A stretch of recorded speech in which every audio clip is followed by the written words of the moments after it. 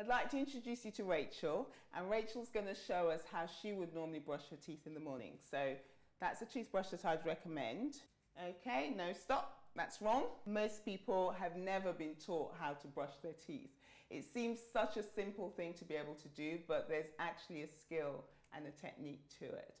What Rachel was doing is what most people do, which is basically just scrubbing the teeth across that actually can damage the teeth and it's not that effective. The way that I recommend is called the Bass technique.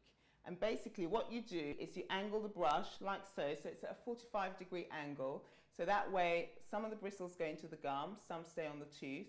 So you're going around in a little circle, round and round, all the way along, okay? And because it's pushing in, you might find that your gum bleeds, but it means that it's doing its job basically.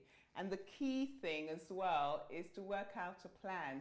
People often brush here, brush there, brush all around, but if you plan it, so split your mouth into four quadrants, start on the top left, for example, you're brushing all the, out, the outside of the teeth, you brush the biting surface, you brush the inside, and that way, as you work your way around the whole mouth, you can be sure that you haven't missed anything.